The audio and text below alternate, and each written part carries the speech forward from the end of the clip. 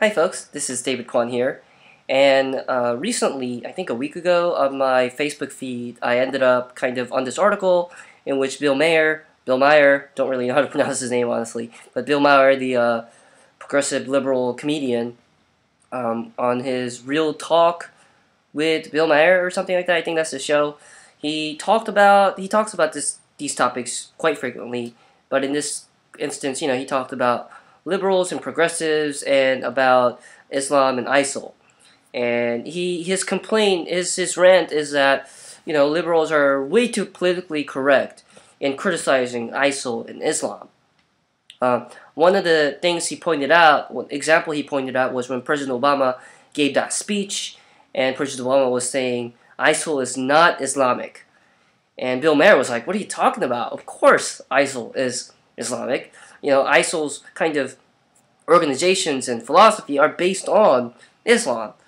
That's Islamic. It's, and he, he kind of is upset that progressives in America are are very uh, confident and, and kind of pointing out when separation of church is trying to be uh, is being attacked by Christian leaders and when Christianity is is is there progressives are very liberals are very like upfront about what's wrong, but then progressive liberals are not as upfront or they, they try to be politically correct or whatever when the, the topic is on Islam. And so that's kind of what Bill Maher was kind of complaining about and, and, and ranting about. Um, and of course, I could, as an atheist, like Bill Maher, um, I could understand the sentiment. But what concerns me um, is not necessarily, I'm not I don't think it's necessarily about being politically correct or whatever, but it's it's still different. It's a, it's a different situation. So I'm an American citizen, and if there is an American congressman or American senator saying, trying you know violate, uh, trying to make policies that violate church and state uh, uh, separation between church and state, or that violates freedom of religion, which is written into our American Constitution, uh, such as saying that. Um, I don't know, gay marriage should be illegal because the, the Christian Bible says homosexuality is wrong. Um, so that is horrible because his policy is based on a Christian text, a religious text, and a religious principle. That is a total violation of separation of church and state and policymaking. And the American Constitution says that's wrong. Um, so, that as an American citizen, I have a, a, strong issue, and we I will speak out, and and I hopefully a lot of American citizens who know their constitution will speak out.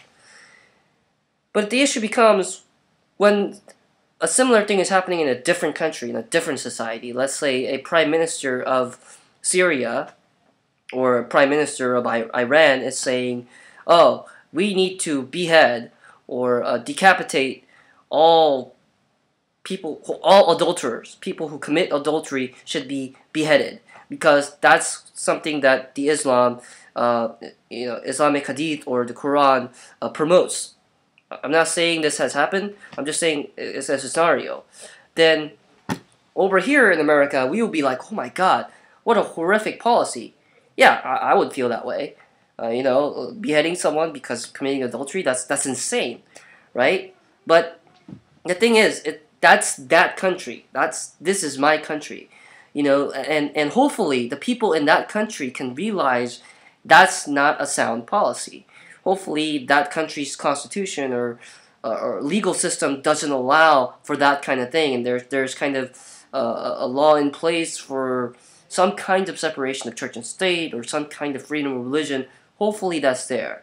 You know, if it's not there, then I hope that people try to kind of influence uh, the legal, change the legal system to for that to be included. But anyway, if it's included and the people are not fighting back against it, you know, then I guess as the American people in, in foreign policy, we can try to encourage them to see it.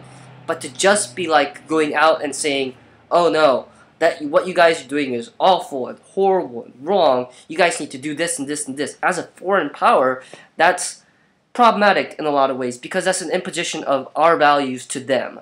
Um, and that's always that's been a historically it happens all too much in history. It happens all too much now um, as we are currently we, America, is bombing the hell out of, uh, out of um, what are viewed as ISIL targets in Syria. Who knows what we're actually hitting, um, or what we're accidentally hitting, because a lot of bombing is imprecise, and a lot of people who are not intended targets do get hurt and killed a lot of times with bombing campaigns. But in any case, you know, that's kind of the colonial or ethnocentric mindset that we know what's best as a Western power, as a more powerful country, as a richer country, as a more technologically advanced country, as a more democratic country, we're going to tell you what you should be doing is horrible. The, that's that's again that's that's how colonialism happened. That's how uh, colonial conquest and how that's how that's what World War II was all about. So World War One was all about. You know, it's it's kind of like this more powerful country telling what this other country, uh, this weaker country, should be doing. If a country like Syria or Iraq or Saudi Arabia has laws and policies that are backwards, that are unethical, um, and that can be viewed as unethical, un unethical and immoral by pretty much majority of humanity, then it's we can kind of point them out towards it but we can't force them or we can't impose our values to them. They have to realize it themselves. They have to be able to kind of, because that's what works. When a nation is told what to do by another nation, what usually ends up happening is rebellion and war. Um, even if you know the end, even if the, the more imposing nation is good intention and trying to help this other nation out, this nation doesn't see it that way. They see it as a, a foreign power trying to control them and trying to dominate them and whatnot. So there, that tension that comes to happen is is unnecessary, um, and that's a lot of a lot of the history of the world is because of is that is exactly that is a more powerful country trying to control a, a weaker country and trying to you know, exploit them or trying to impose their values on them. Uh, this is the history of empires and like Western powers that we see. Um, if you look into the eastern side of the world, it is a history of China and, and many other Asian smaller nations. China never used to be this humongous nation. It used to be several kinds of dynasties and several kinds of smaller nations. But the, this influence of we know what's best so we're going to tell you what we know is best, and we're going to conquer you, and we're going to control you. That's the history of many kinds of the world. And I feel like it's time, it's time now to kind of really step away from that mindset. I mean, respect the autonomy of different nations uh, and the sovereignness of nations so they can better themselves and not have another nation tell them what the hell to do. Because um, that's problematic, I think, in itself.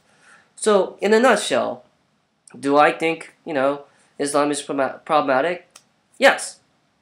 You know, um, and I would really speak up as an American citizen if there, if there is if there comes a American senator who who is a Muslim senator and tries to impose tries to make policies that favor Muslims over all other groups. That's a violation of freedom of religion.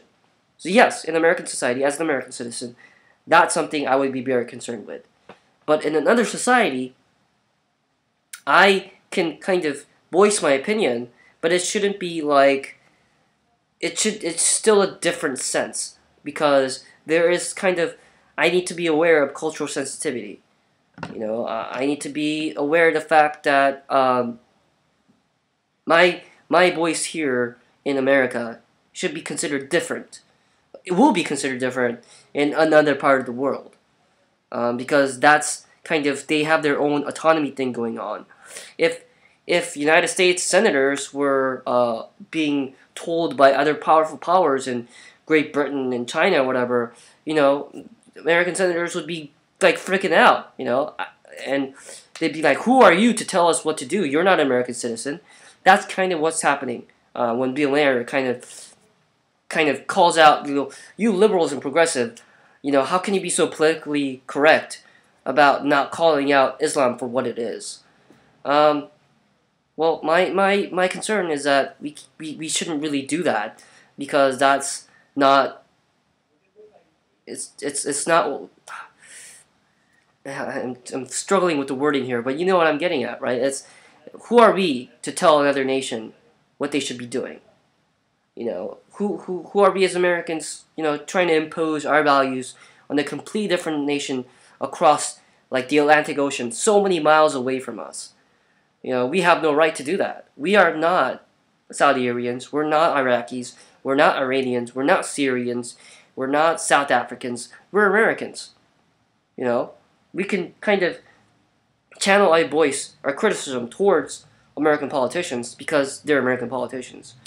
But for other people, you know, and the same thing goes for other parts of the world. Who is a Chinese politician to kind of impose his Chinese values on South Korea or Singapore or Taiwan or what have you? You know, it's the same thing. We, every nation has their autonomy, and I think we need to, each nation needs to respect that kind of autonomy. So that's my response to Bill Meyer's rant. Uh, hope you guys enjoyed. Cheers.